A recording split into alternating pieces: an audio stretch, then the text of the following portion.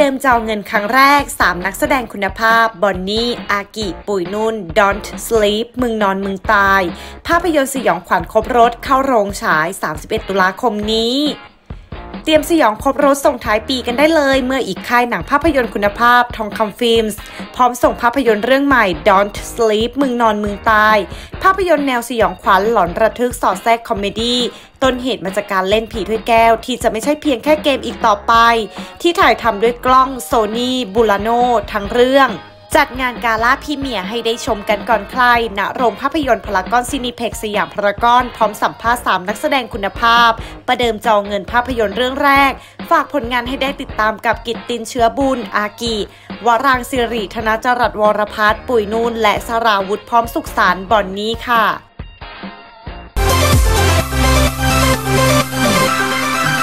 ชื่อบอนนี่นะคะค่ะแล้วก็เป็นหม่อมนะ อะ ค่ะ สวัสดีครับ เต้นนะครับ จากเรื่องนนสลีปชื่อจริงอากิครับค่ะสวัสดีค่ะ ปุยนุ่นนะคะ รับบทเป็นเบลค่ะ เรื่องนี้เป็นเรื่องแรกเนาะของวันจริง ๆ จังๆเลยนะคะ ก็รับบทเป็นหม่อม ค่ะ ก็พอสังเกตแล้วกัน ก็หม่อมก็จะเป็นฟิลคล้ายๆหมอผีอะเหมือนคนดูดวงสื่อสารวิญญาณได้อะไรอย่างเงี้ยค่ะ ก็เป็นตัวเคลียร์ทุกตัวละครของของภาพยนตร์เรื่องนี้แล้วกันเนาะก็เรื่องจริงก็เห็นผีจริง ๆ และซึ่งไปถ่ายหนังอะ เพราะเราต้องออกกองบ่อยใช่ไหมเปลี่ยนสถานที่เปลี่ยนโรงเงี้ยก็จะเจอผีจริงค่ะๆหลายที่อาทิเช่นอดิเช่นเนาะอันนิดนึงเอาล่าสุดแล้วกันที่เล่าให้ฟังในกล่องใช่ไหมในกองเลย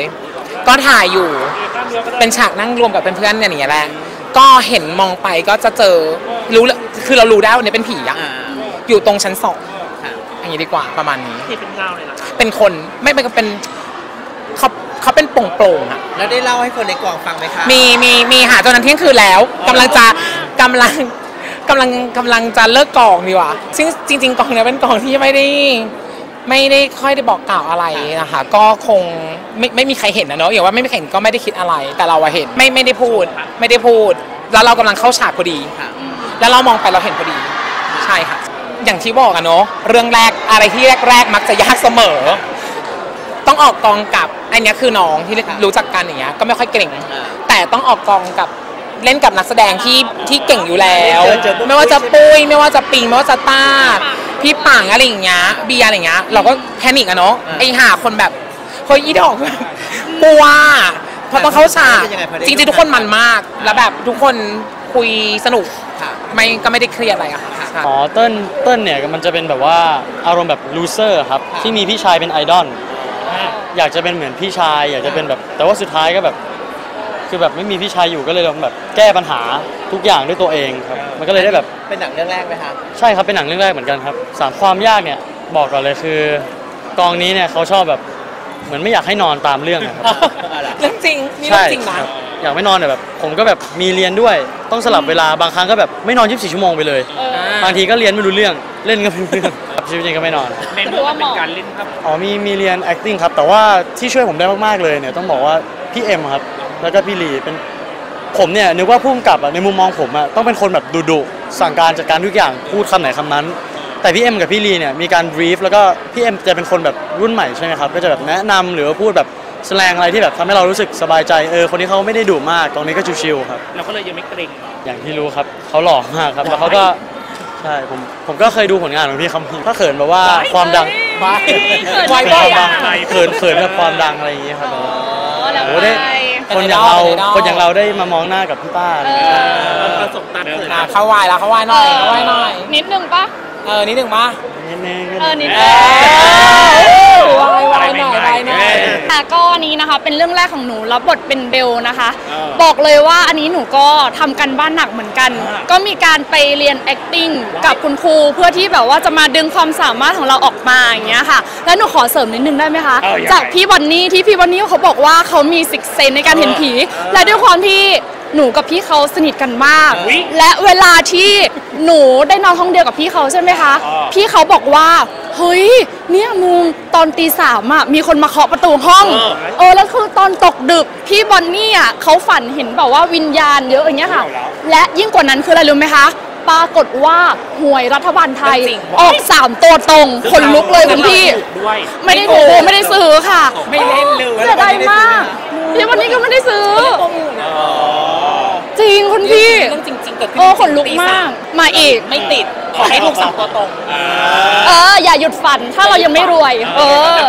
พอเราไปอยู่ในกองก็บอกเลยว่าพี่ๆทุกคนคือน่ารักมาก รวมไปถึงนักแสดงเองด้วยที่บอกว่าทุกคนมีความเป็นกันเอง หรือแม้กระทั่งพี่ต้าพี่ปิงที่เราเห็นว่าเขาเป็นนักแสดงที่มีชื่อเสียงมาก แต่ว่าพอที่เรามาเข้าบทกันอะปรากฏว่าเขาคอยแบบแนะนำให้เราแล้วก็พูดคุยกับเราตลอดเวลามันทำให้เราเนี่ยไม่มีความรู้สึกเกร็งด้วยเนี่ยวันนี้โอ้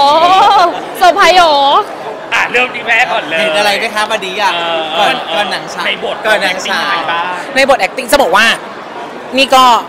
ก็เข้าซีนอารมณ์เออ แต่สองคนเนี้ยเรากับนุ่นน่ะหรือเบลในเรื่องนะซีนหนักมากว้าย เพราะมีซีนหนึ่งอะในหนังประมาณไม่กี่นาทีแต่เจ็ดชั่วโมง เออเออเหรอ มันมันมันมันมีทั้งแบบ แอคชั่นเออใดๆหนุกหนุกค่ะหนุกแล้วเบื้องหลังได้ไหม ไม่มี ไม่เบียน อะอะภาพยนตร์เรื่องนี้คนดูจะได้อะไรคะ ได้อะไรก็ไม่น่าจะได้อะไรอะ ก็ไม่น่าจะได้อะไรน่าจะงง เพราะฉันก็งง เอออันเองงงเอง เออก็ก็ก็ได้จริง ๆ เรื่องนี้เป็นเรื่องที่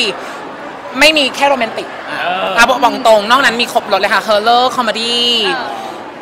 thriller อะไรอย่างเงี้ยมีทุกอย่างเลยค่ะ ครบครบจริงๆวัยรุ่นทุกคนที่ Gen Z หรือว่า Generation อะไรที่ใกล้ ๆ อย่างนี้ครับ ผมบอกเลยว่าหนังเรื่องนี้ ตอบโจทย์มากๆครับ ด้วยคอนเซปต์แล้วก็ทุกอย่างอะไรที่แบบมัน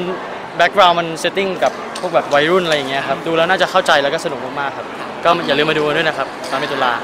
แล้วก็คือลุ้นระทึกทุกวินาทีจริงเพราะบอกเลยว่าทุกคนต้องตั้งสติแล้วก็ตั้งใจดูมากเพราะไม่งั้นทุกวินาทีไม่งั้นงงจริง เพราะว่าเราต้องดูแล้วเราต้องคิดเอออ๋ออย่างนี้อ๋ออะไรอย่างนี้เหมือนใช่เหมือนมันแนวเดาอะเนาะ เออมันเดาแล้วแล้วยังไงต่อแล้วแล้วยังไงต่อะอแล้วคนนี้เป็นใครไอ้นี่ยังไงต่อเอออย่างนั้น เออมันจะเป็นยังไงไม่บอกได้ปะเออห้องอะไรคะไปดู เซอร์ไพรส์เหรอพูดไม่ได้ ไปดูใครอยากได้บัตรฟรีทักมา 30 ใบ เออทางไหนทางไหน Facebook เอออะไรคะบอนนี่เออ เสิร์ช Google ก็ขึ้นปะเออ ก็ต้องดูอะ ไม่ดูก็งงอะ เพราะกูก็งง โอเคก็ก็ก็ก็สนุกอะค่ะ ก็ให้น้องๆฝากกันนะดูเลย อะโอเคค่ะ ก็ฝากด้วยนะคะ เพราะว่าภาพยนตร์เรื่องนี้บอกเลยว่านักแสดงทำกันบ้านมาอย่างดี ไม่ว่าจะเป็นพุ่มกับเองหรือแม้กระทั่งทีมงานทุกคนคือเขาตั้งใจทำกันบ้านมาดีจริง ๆ ค่ะ คุณพี่บอกเลยว่าใครที่ไม่มาดูเรื่องนี้คือพลาดมากอย่าลืมมาดูนะคะ วันที่ 31 ตุลาคม สิ้นเดือนนี้ทุกโรงภาพยนตร์ค่ะ เออ